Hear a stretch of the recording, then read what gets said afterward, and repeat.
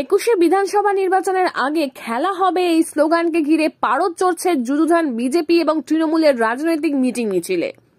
এবার সেই স্লোগান উঠে এলো দেওয়াল লিখনেও। উন্নয়নের সাফল্যের খতিয়ান তুলে ধরে ভোটের ময়দানে খেলা হবে, এই বার্তা তুলে ধরা হলো তৃণমূল কংগ্রেসের দেওয়াল লিখনে।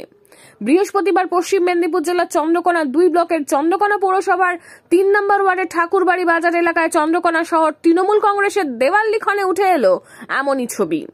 দলবদলের পরিস্থিতিতে কর্মীদের মনোবল অটুট রাখতে তৃণমূল নেত্রী মমতা বন্দ্যোপাধ্যায়কে একাধিক জনসভায় বলতে শোনা গিয়েছে, রাজ্যের সবকটি বিধানসভা আসনে তিনিই প্রার্থী।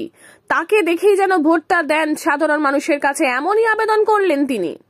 এবার নেত্রীর সেই আবেদনকেও তুলে ধরা হলো চন্দ্রকোনায় তৃণমূল কংগ্রেসের দেওয়াল লিখনে। নন্দীগ্রাম সহ দুশো চুরানব্বইটি বিধানসভা কেন্দ্রের প্রার্থী মমতা বন্দ্যোপাধ্যায়কে ভোট দিয়ে জেতানোর আবেদন চন্দ্রকোনা শহর তৃণমূল কংগ্রেসের দেওয়াল লিখনে।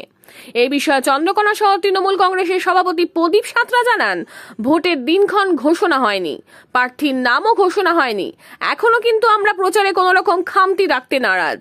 প্রার্থী যেই হোক না, আমাদের নেত্রী রাজ্যে দুশো চুরানব্বইটি আসনের প্রার্থী বলে আমরা মনে করি।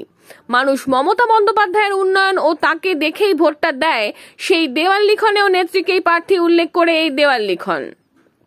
পাশাপাশি তিনি এও বলেন, সবাই বলছে খেলা হবে। আমরাও দেয়াল লিখনের মধ্যে দিয়ে বলতে চাইছি, রাজ্য সরকারের একাধিক উন্নয়নমূলক প্রকল্পগুলির সামনে রেখেই আগামী নির্বাচনে আমরা খেলব। উন্নয়ন নিয়ে খেলব। মানুষ এই খেলায় সামিল হবে। বলাই চলে, নির্বাচন যত সামনে আসছে, খেলা হবে স্লোগান ততই জোরালো হচ্ছে যুযুধান দুই প্রধান রাজনৈতিক দলের। বাবলু সাঁতরার রিপোর্ট, আমি সৌমিনা দত্ত, স্থানীয় সংবাদ ঘাটাল। এখনও ভোটের দিনাক্ষণ ঠিক হয়নি, কিন্তু আমরা জানি ভোট আমাদের দু হাজার একুশের ভোট সামনেই আছে আসন্ন নির্বাচন। আমাদের নেত্রী মমতা ব্যানার্জি বাংলার বুকে যে উন্নয়নের কাজ করেছেন, স্বাস্থ্যসাথী থেকে আরম্ভ করে কন্যাশ্রী, শিক্ষাশ্রী, তার প্রতীক চিহ্নেই আমরা আমরা উন্নয়নের প্রতীক হিসাবে আমরা কাজ করি এবং সেই প্রতীকের উপরেই আমরা ভোট করি।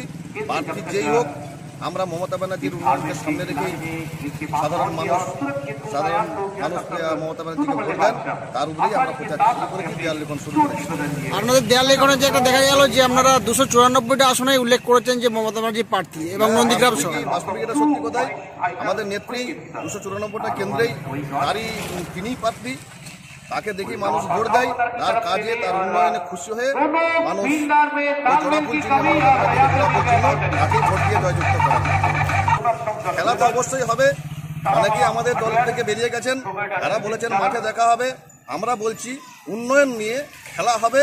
মানুষ খেলবে, জনগণ খেলবে, জনগণ খেলিয়ে বুঝিয়ে দেবে। আগামী দিনে দু হাজার একুশে মমতা ব্যানার্জি আরও আবার সরকারে আসছেন। এটাই আমরা খেলবে, মানুষ খেলবে, সাধারণ মানুষ খেলবে।